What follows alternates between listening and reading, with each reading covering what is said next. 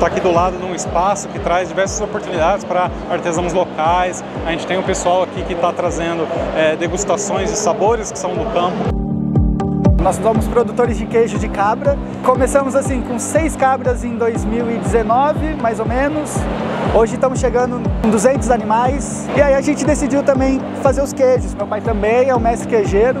A gente tem um desafio da produção, da logística, do administrativo, controle financeiro, investimento, né? O Sebrae ele nos ajuda muito, assim, acho que tanto lá no início, né, quanto até hoje, aqui na Feira do Empreendedor, ele cria muita rede de, de network.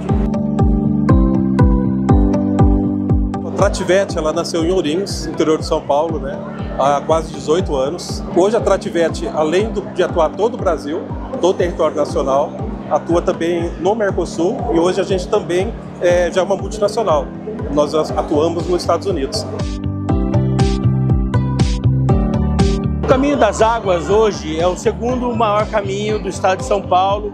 É um caminho de 219 quilômetros, saindo de Avaré, do campo de Avaré, da cidade turística de Avaré, indo até Itaporanga. E esse caminho ele passa praticamente por 10 cidades do consórcio. A maior expectativa nossa aqui é divulgar os produtos confeccionados na nossa região. Nós estamos com três vinícolas, é, umas 10 fábricas de doce, o mel agora. E a gente está tentando levar isso para todo o Brasil.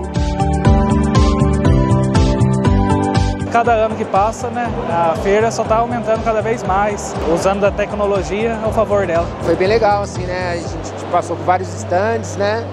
Conversei com o Sebrae, conversei com bastante gente, conheci bastante produtos, né? As conexões que se geram aí, bem legal. A gente pega uma, uma experiência aqui, uma experiência ali, sabe? Assistir umas palestras também, tem de tudo. É artesanato, então, nossa, foi um, é um aprendizado muito gostoso, muito bom.